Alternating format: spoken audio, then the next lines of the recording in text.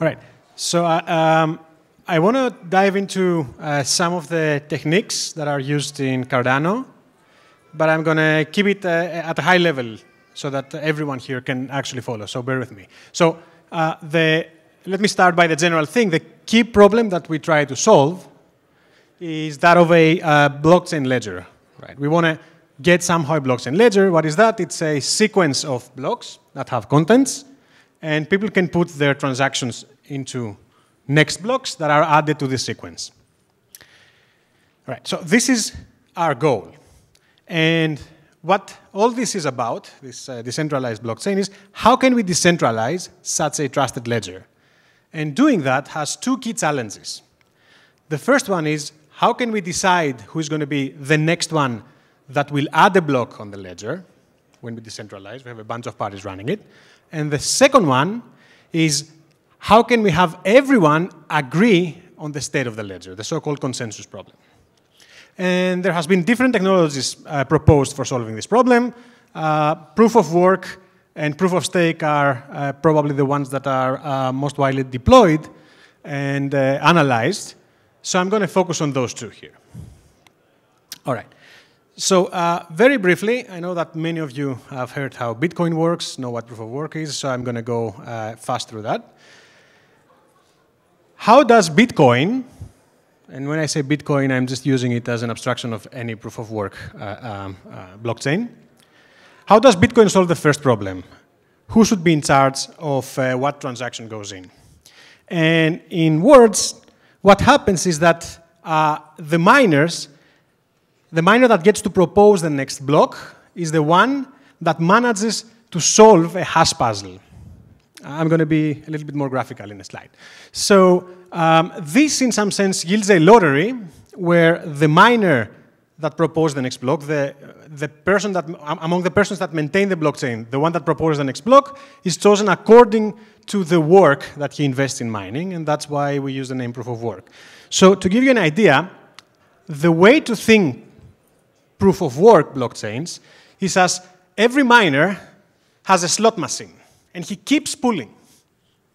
And every time they pull, they get a random string, right? Here they get fruits, in Bitcoin they get random string. So the concrete thing that happens actually, rather than just having a slot machine and pulling, is that they keep hashing the sequence of the previous block, the transactions that they want to put in, and some random value. And they change this random value. So every time they pull the handle of the slot machine, what they do is they put a new random value there. And this new random value every time spits out a new random string. So the miners keep doing that and do it and do it over and over again until someone wins. What does it mean that someone wins?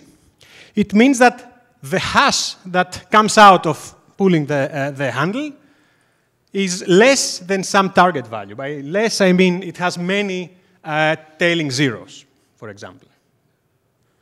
So this means that this miner here won the lottery. And what he does when he wins the lottery, oh, I should say, of course, that um, since what happens is that they all keep pulling the handle and this thing spits out random strings, the chances of winning this lottery are proportional to how many times I pull the handle, obviously. So when this guy wins, what he does is he gets to propose the next block.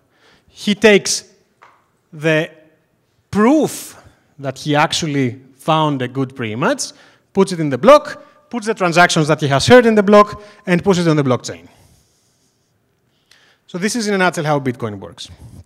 Now, just to make things slightly simpler, um, what we can show is that this individual, this composition of individual lotteries, local lotteries, can be abstracted as a, uh, is a good approximation, let's say, of a lottery that is central, runs, and every now, every, every few minutes points to some guy that won. So rather than people doing it locally, and when they win, they just say, I won, you can think of it as it happens centrally for them. This is a way to abstract it, right? That's not what happens in reality. That's a way to, to, to view this process. And this process is as before, iteratively. So in, the, in one round, this guy might win. In another round, that guy might win. In a later round, two guys might win, or three guys less and less likely that more guys win, though. All right. Um, so, and again, this abstracted lottery chooses the uh, parties to win, chooses the winner, um, depending on how much effort they invest. So this is the, the whole idea under how we choose the next guy to propose the block in Bitcoin. All right, so this solves the first thing. How do we choose the next guy? We, we design this lottery, which makes sure that he's chosen according to the power that he invests, according to the hashing power that he invests. The trickier question is how can we make sure that everyone agrees on this thing? And what's, what's the issue with this thing, right? So this guy that chose posts the, his choice to, to everyone, sends it to everyone, everyone sees it, can verify there's a, lot, there's a lot of work in it, can verify that he actually did find a good target. So what's the issue? The issue is that someone might be trying to prevent us from agreeing. And this means he keeps mining locally, and when he finds actual blocks, he doesn't play the honest thing. He doesn't send it to everyone. He just sends it to some parties and not to others. He's trying to confuse people. And this creates forks. And to make things work, actually, even by chance, it can happen that two honest guys, two people that actually run the protocol, simultaneously find a solution. And this will create a benign fork, in a sense. Uh, so how does Bitcoin solve this problem? What happens is that everyone keeps hashing and hashing and hashing. They get the uh, blocks that they see on the network, and they put them in the blockchain as before, and they always go for the longest chain. So whenever in doubt, whenever they have two chains to decide, they always go with the longest one. Why? Because, the, first of all, the longest one has more work, and second, uh, because as long as the majority of the hashing power is invested to the protocol, we say that it's in honest hands, this majority of the, of the, of the, of the, of the, the majority of the honest guys are going to extend the blockchain faster than the minority, which is not investing in the protocol.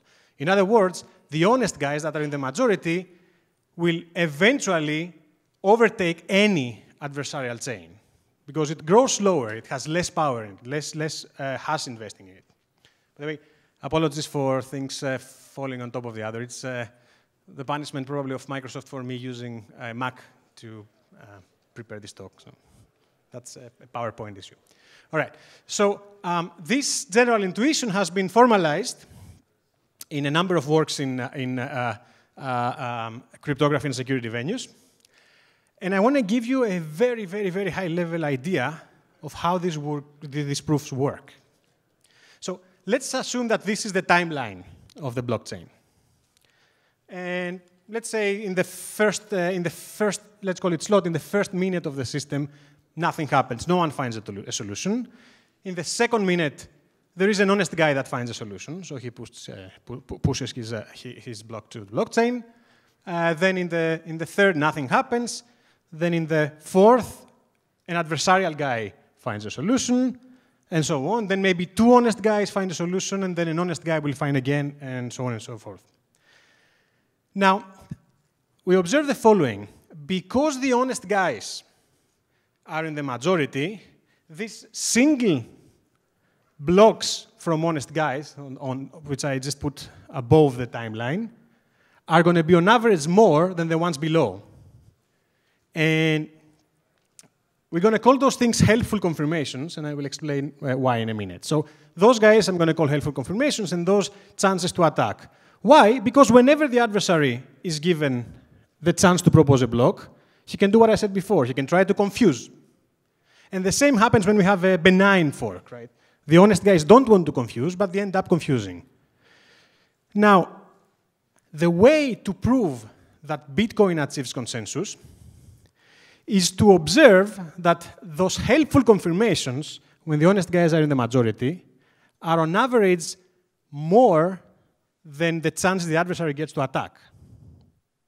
So if you think of what happens whenever a block is on the blockchain and we want to make sure that we agree on it, it's effectively a random walk which goes with bigger steps towards the block being confirmed and with smaller steps back. So what happens is, you know, I want to see if the block is going to stay and want to see what, how many blocks are on top of it. What happens in principle is that it's like as if someone walks two steps forward, then potentially one step backward, then another step forward, then maybe two steps backward, but then three steps forward. So it's easy to see that this process is going to eventually, you know, drop me off the stage. And that's what happens in Bitcoin. And this is how we prove that eventually there is many confirmations, so the block is stable.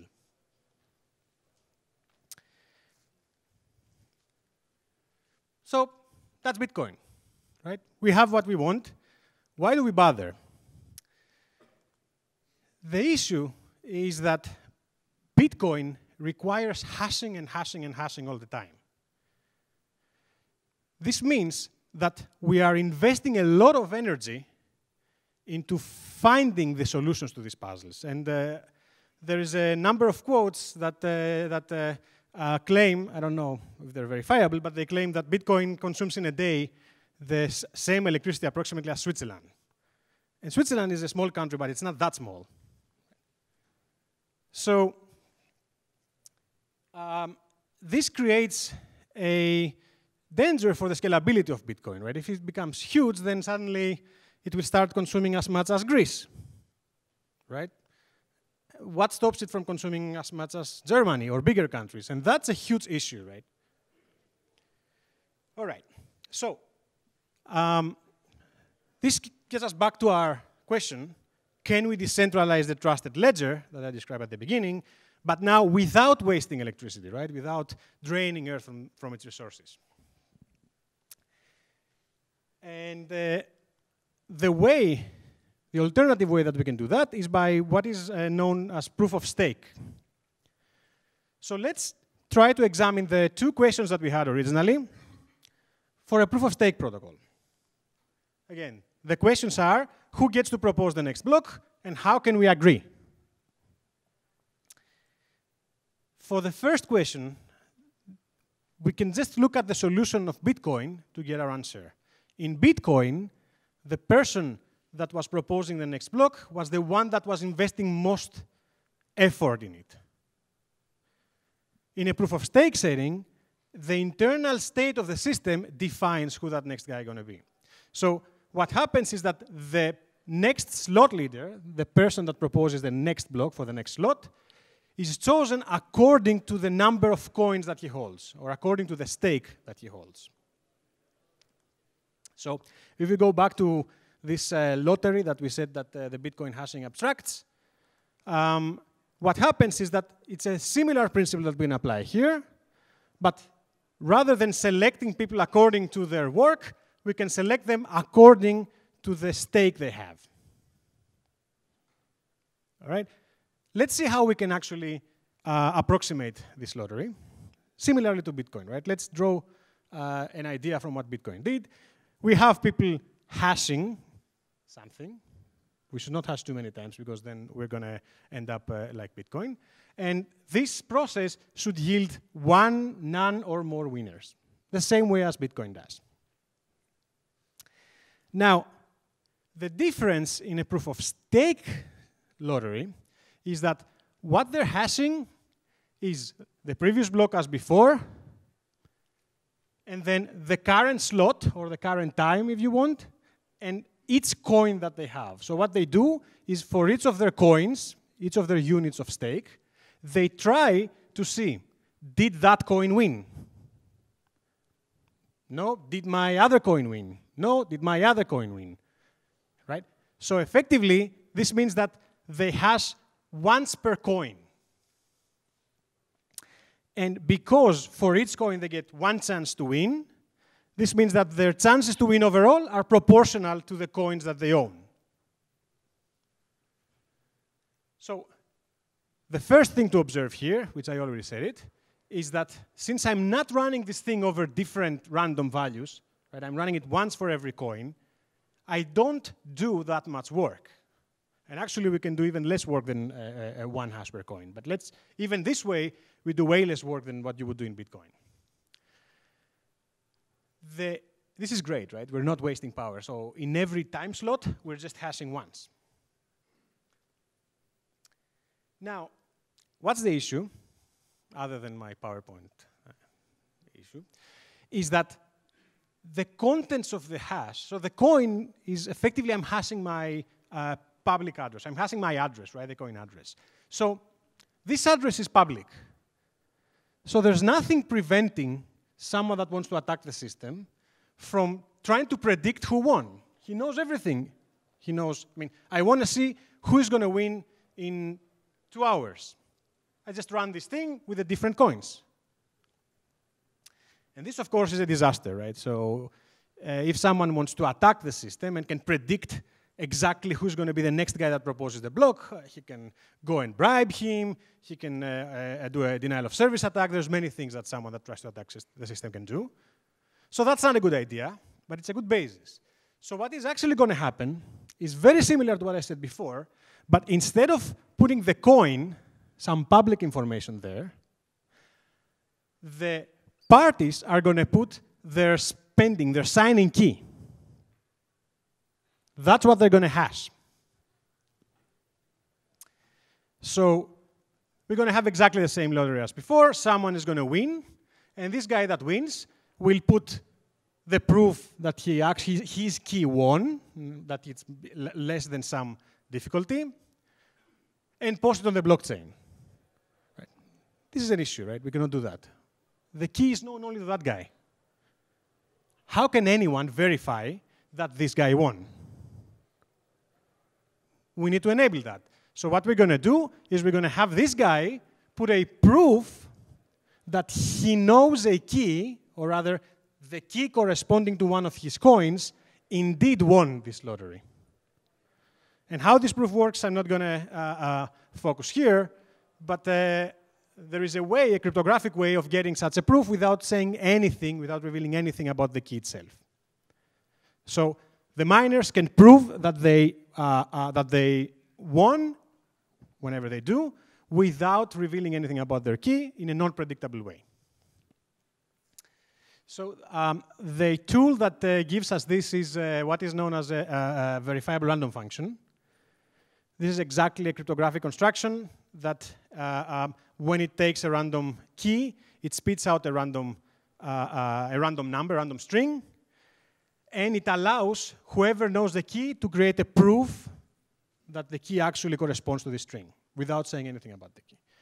So um, this is what we call a VRF. And just in passing, I should say that we will use a couple of more uh, cryptographic primitives. Um, all of those can be implemented by standard cryptographic assumptions. Um, the uh, second cryptographic primitive is what we call key evolving signatures. What is the issue here? The issue is that if I corrupt, if the adversary goes and bribes someone on Thursday, he should not be able to change what this guy did on Tuesday. What does it mean, change? It means sign conflicting things corresponding to Tuesday. How do we get that? With what is called key evolving signatures. This ensures that the key I'm going to learn if I corrupt a miner on Thursday cannot help me sign things corresponding to uh, transactions that happen on Tuesday. And the other primitive which is uh, very uh, delicate to uh, uh, actually implement, but we know how to do it, is a randomness beacon. What is randomness beacon? It's a very, very stupid primitive which just spits out randomness. Despite its stupidity, it's very, very useful because it spits the randomness to everyone. Everyone can see this randomness, and this is very, very important. All right. Okay, so We've solved the, the question of uh, how can we actually decide who proposed the next block in proof of stake. Create a lottery that chooses parties proportional to the stake they hold, proportional to the number of coins they have. Now, again, to the much, much harder question, which is how can we make sure that parties agree? And why is, it, is this question hard? in particular, why is it harder than Bitcoin?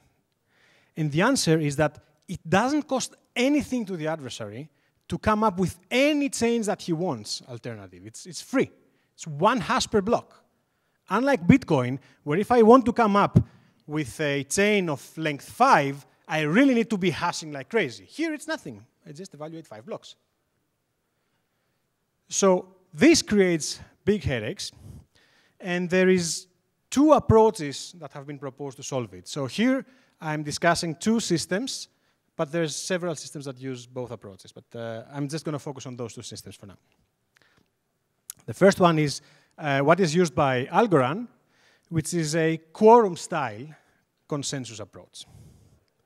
So what this thing says is that if we have an estimate of parties that are around, then what we can do is we can actually pick a small number of them at random according to their stake. So if the, if the stake is honest in majority, then the small number that we will pick is going to have a majority of good guys. And then we can run a traditional Byzantine agreement.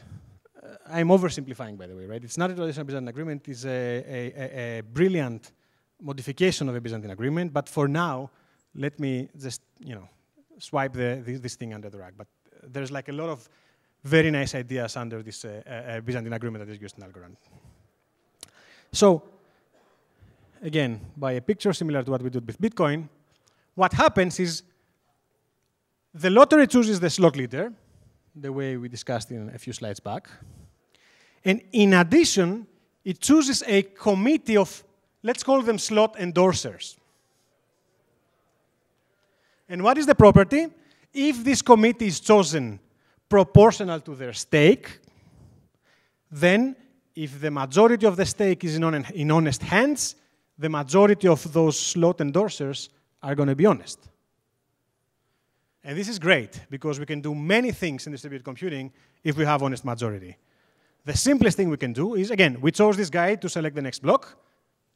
Here, and he's right. He's going to select the next block. And now the endorsers are going to endorse it. Each of them is going to put his signature on the block, and that's what we put on the blockchain. How are we going to verify that this block is valid? Well, we're going to just wait to see at least a majority of signatures. So if there's like three guys in this committee, we're going to wait for at least two signatures. So this is the underlying idea of, of Algorand. And you know, I can once again put uh, Homer there and uh, Party. It's a really great solution. But there is one caveat. So if you think of the mechanics of a proof of stake blockchain, unlike proof of work, where what happens, I work, I work, I work, I work, I work, I find something I want to announce to the world because I wasted time on it. In proof of work, in proof of stake, sorry, there is a lottery running externally to me. It's as if someone goes out and says, hmm, you won. No, next round, you won. No, next round, you two guys won. So what if you're not there? there? It doesn't cost you anything not to be there, right? So in proof of work, it does. You really work for it. It makes no sense not to announce a block. In proof of stake, you're just chosen by an implicit lottery. Well, you know, why if you, what happens if you're for coffee? Why should you be there? Uh, there are reasons, but uh, this is a provocative way of saying it. All right. So if we look back to Algorand, then what we get is a fantastic property, which is what is known as instant finality or optimal latency. This means that I don't have forks. Forks don't occur, right? Why? Every time a guy, or even more than one guy, is selected to say what's going to be in the next block, and then the, the committee of endorsers endorses it and it goes in. If the committee has majority, then it's always going to happen. This is great, right? There's no question about how many confirmations should I wait. No. I see the majority of signatures, I'm done. But what happens is that I need to fix how many endorsements do I need to wait. Remember, I'm choosing a random set. How large should this set be? and how many parties should I wait to sign before I say, yeah, this block is valid? And if I choose, let's say I, I, I wait for T endorsers, right?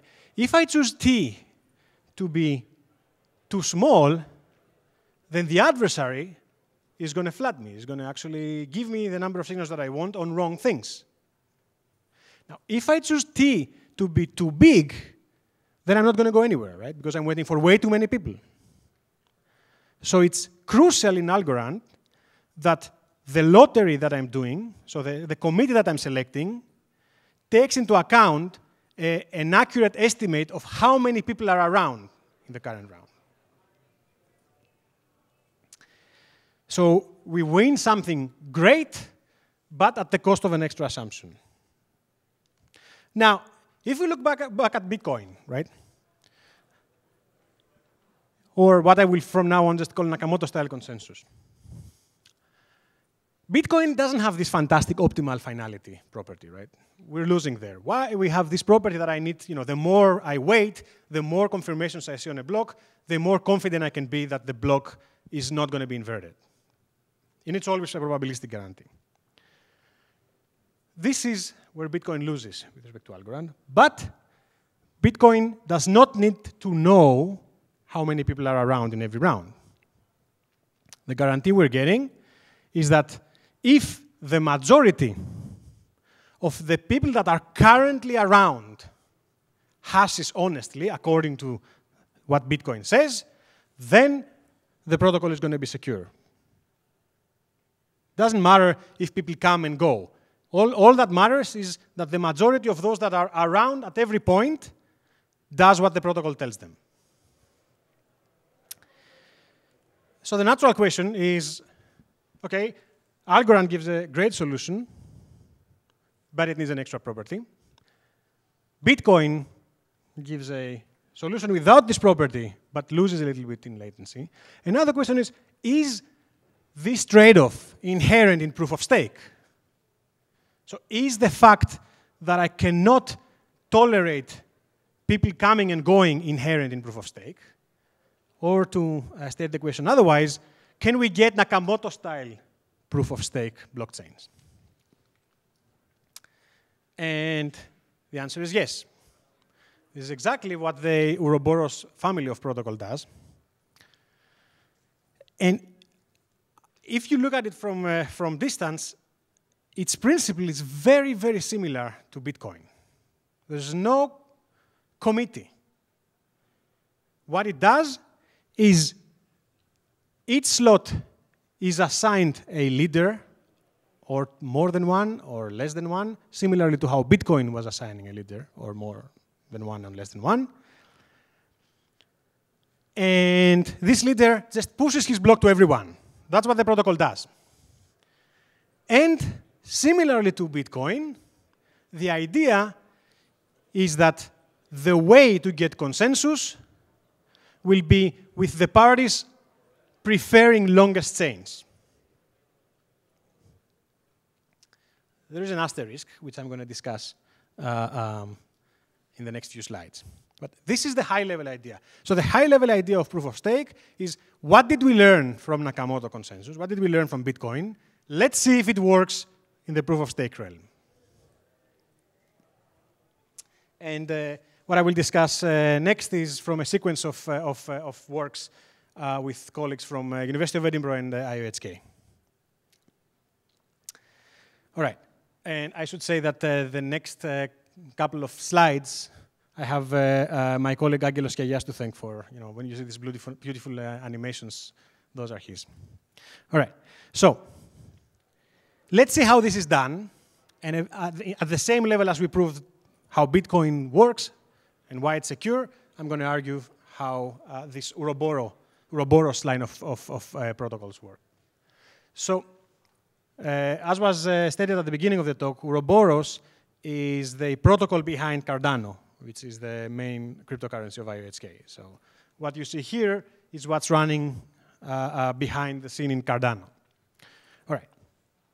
So let's first do a warm-up. Right. Let's start with an easy case. Let's assume that the stake is static. What do I mean by that?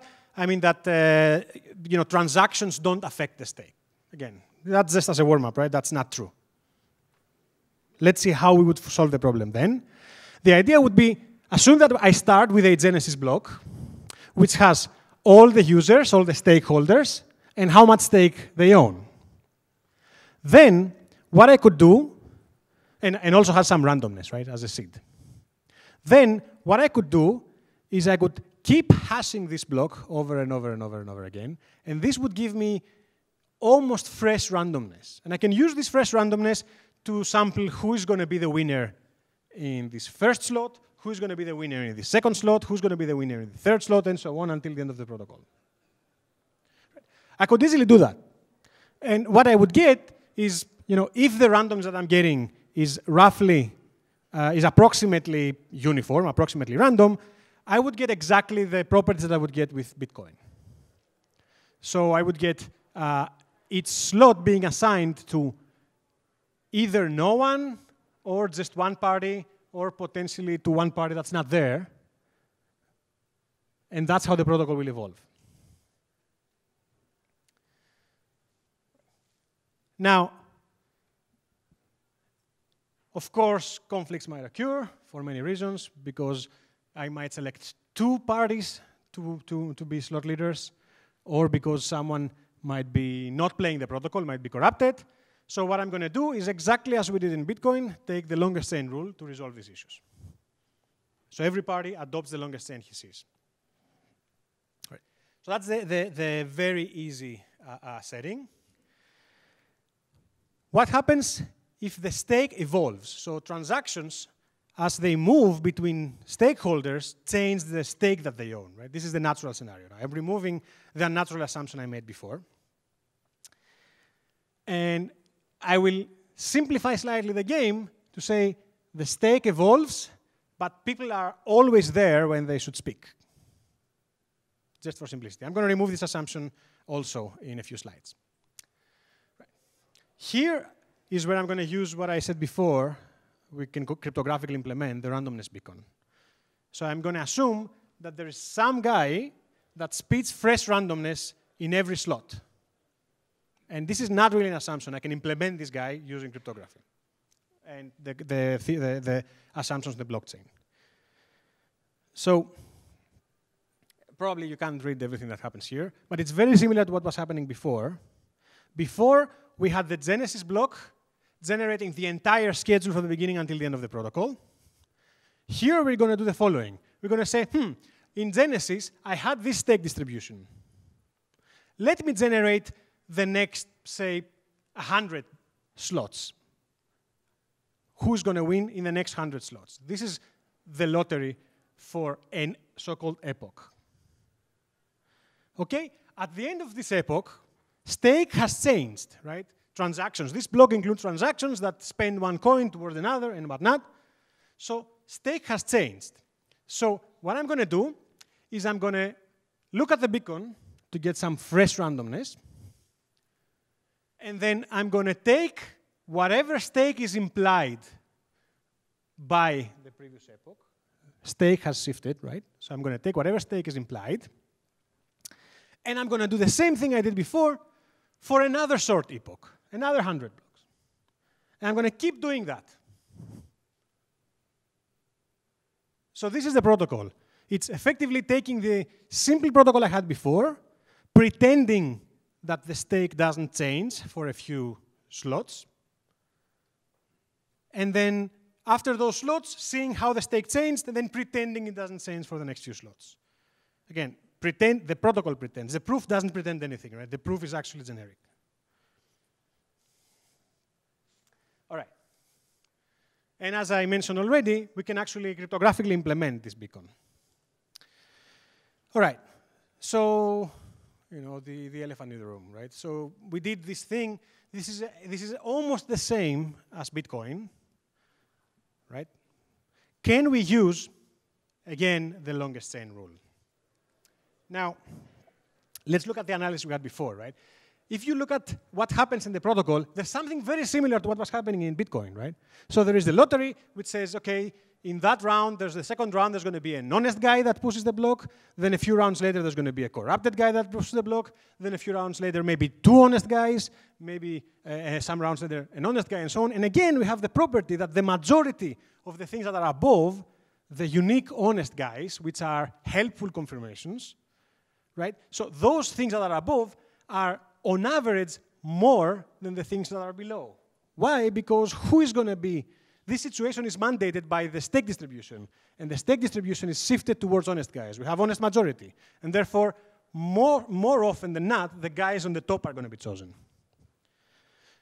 So can we apply exactly the same argument? No. Otherwise, you know, it would be too simple. And what's the reason?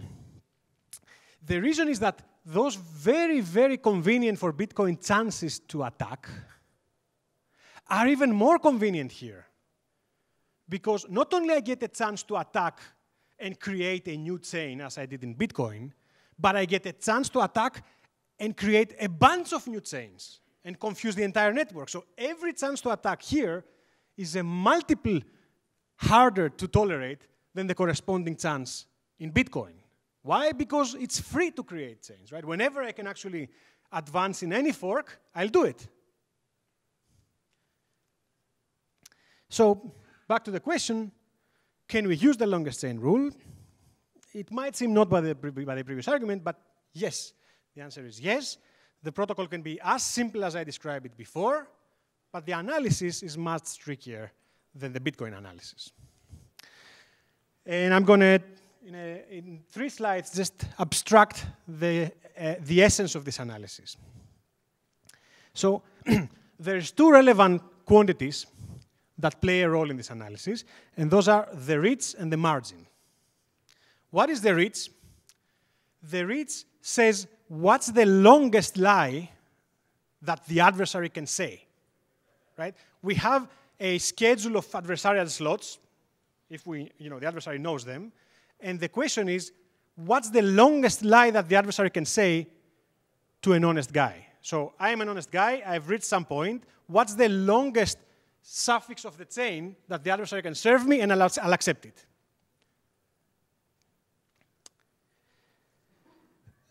The margin is if you compare the guy to whom the adversary can lie the most to the, the second most lieful guy, to the guy that he can fool with a slightly less uh, uh, length, this is the margin. So what does the margin mean, right?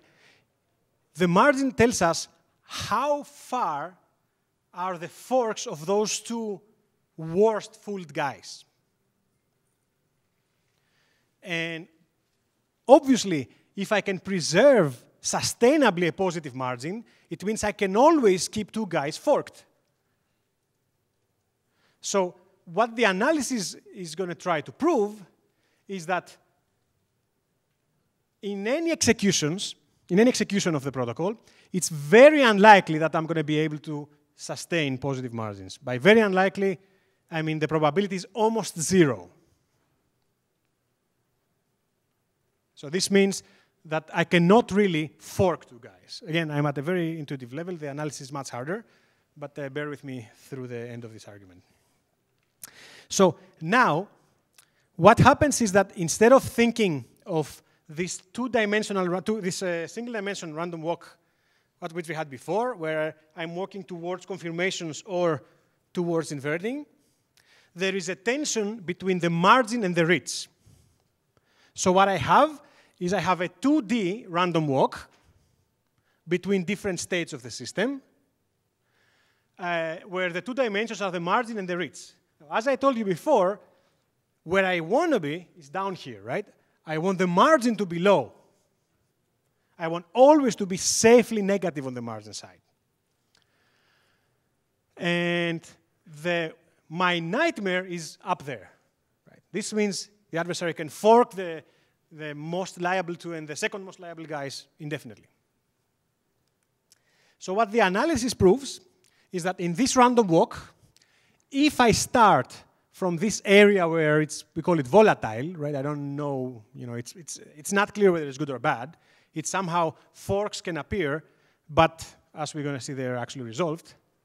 If I start from this area, then with constant probability, I stay there. With constant probability, I will move to the nice area where the margin is negative. So at that point, I have actually uh, full confirmation of a block. And with very, very, very low probability, I'm going to move to the hot area. And if I move to any of those two areas, the walker is going to stay there. It's never going to leave. But it's never going to come here, almost never going to come here.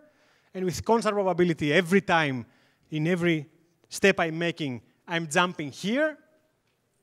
And whenever I come here, I'm stuck here, which is great. Being stuck sounds bad, but it's amazing for us. That's where we want to be. Once I jump in here, I stay there. All right. so, um, how about dynamic availability? and what's the issue with dynamic availability? The issue is that parties might not know what's happening in the, in the, long, in the, in the, in the blockchain. So it could be that I just joined the protocol, which has started uh, years ago, so I only know the Genesis block. So the adversary can serve me a bunch of fake chains, the so-called long-range attack. So you know that's the last block I knew. I'm now many, many uh, hours later, and the adversary serves me this chain. This is the actual honest chain. I don't know what to choose. And if you look at it, those chains actually have the same number of blocks. So longest chain won't help me. And actually, the adversary can play this attack. Unfortunately, there are ways in the proof of stake protocol that the adversary can actually serve as longest chains. So what we're going to do is the following. Let me, because I don't have time, let me just uh, describe it graphically. If I have a fork, I have two chains, right? If those chains fork too far in the past, more than k blocks in the past, then I won't, I won't use the longest chain rule because I am effectively suspecting a, a long-range attack. So what I'm going to do is I'm going to go to the point they forked and compare them with respect to their density. And I'm going to choose the denser. So if they, the fork is recent, I'm going to use longest chain. If it's very old, I'm going to use density. And very intuitively, why uh, uh, the density works, where if the, if the part I'm comparing is kind of stable, then, uh, um, then uh, this means that there's more honest blocks than adversarial. So the adversary can never create a denser block than the actual, a denser chain, a denser history than the actual history. And why not apply the densest chain rule everywhere? Well, because the last k blocks cannot be trusted, similarly to Bitcoin. So with a lot of effort, uh, we managed to prove security of a Nakamoto-style consensus. Uh, you might be wondering, uh, you know, how about other things that Nakamoto can do? Can we do it here? Yes, we can do privacy preserving Zcash style uh, uh, Nakamoto consensus with proof of stake. Uh, um, we can do, we can get rid of the very, very strict synchrony assumptions. And, you know, the question is what more? Thank you.